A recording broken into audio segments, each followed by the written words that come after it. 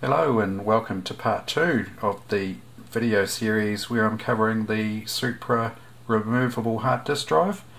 Uh, if you haven't seen the first part uh, you might want to go and take a look at that. Um, you'll see there a video where I um, inadvertently may have caused the issue that blew this power supply up here.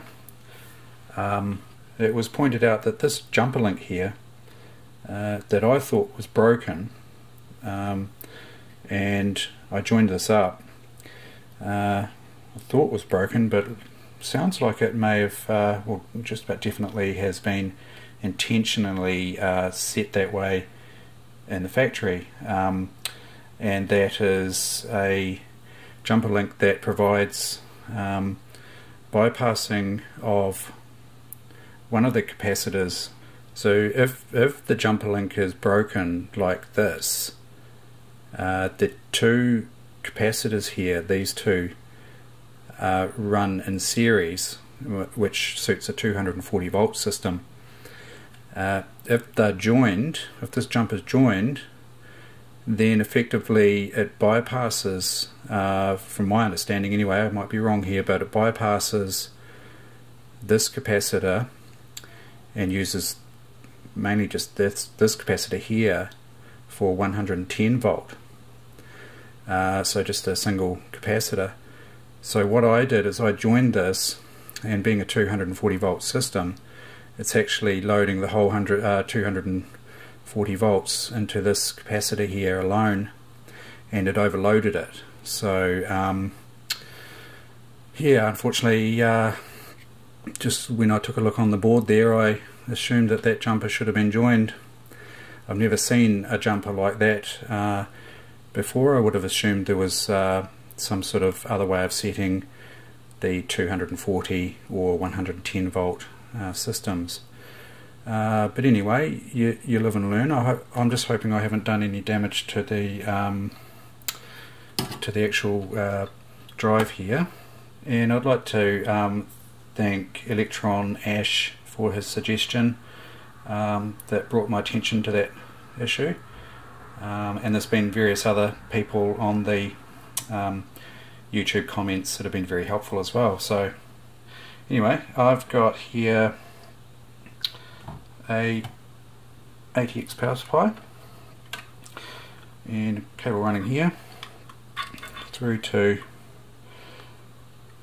this uh, power connector in the back of the drive here. That's just a standard Molex power connector. There, so just straight into the back of the drive.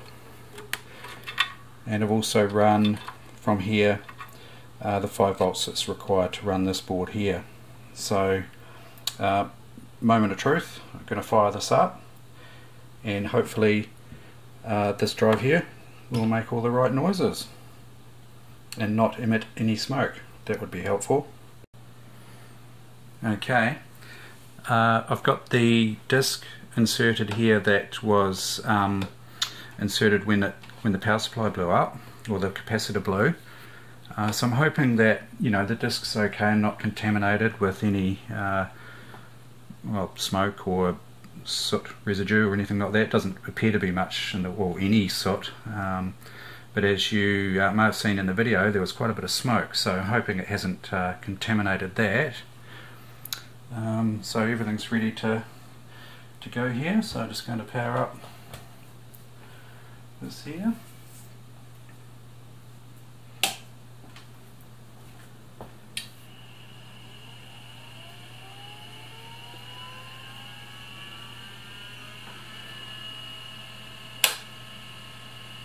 that's normal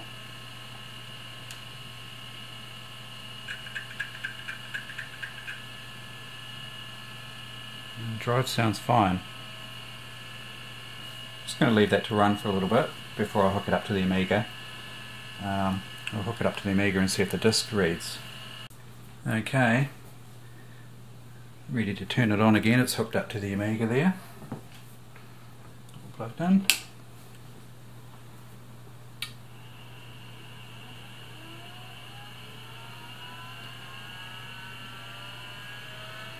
Okay. Now I do have a brand new power supply coming for this Supra Drive. It's um, XP Power is the brand, so it's a um, AC to DC 5 volt and 12 volt power supply. Switch mode power supply. So um, that should be here in a week or so. So that'll I'll install that in the drive and uh, that'll tidy things up a bit.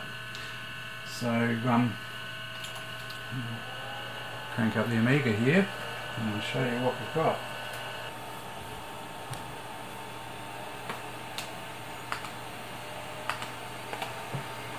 okay this is very promising that is the SyQuest drive reading fine. Well that's a relief.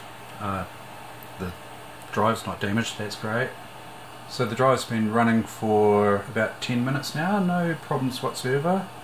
So um, I'll demonstrate a file copy.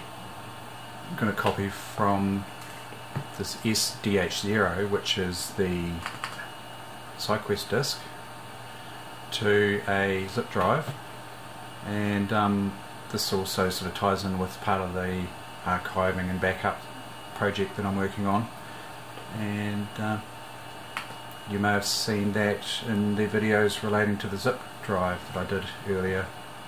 So I've got a zip drive disk here.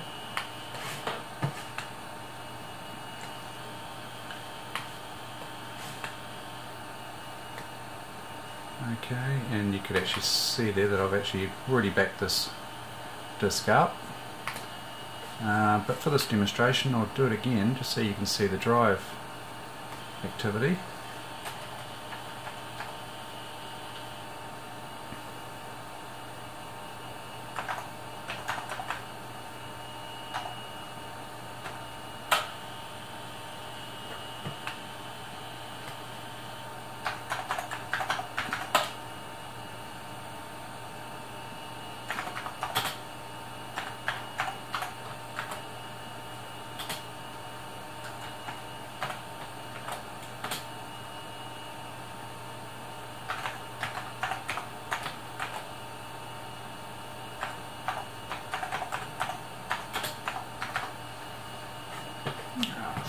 that's right.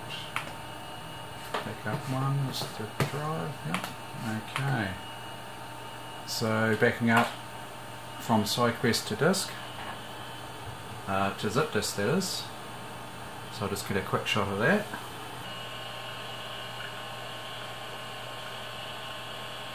So the SyQuest drive, the Supra drive, is sounding a lot better than it did when I initially plugged it in for the first time in probably 15 years, if not more.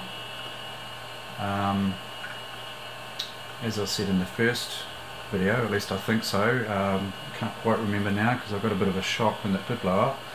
Um, I replaced a resistor that looked a bit cooked on the bottom of the actual uh, drive itself, the controller board.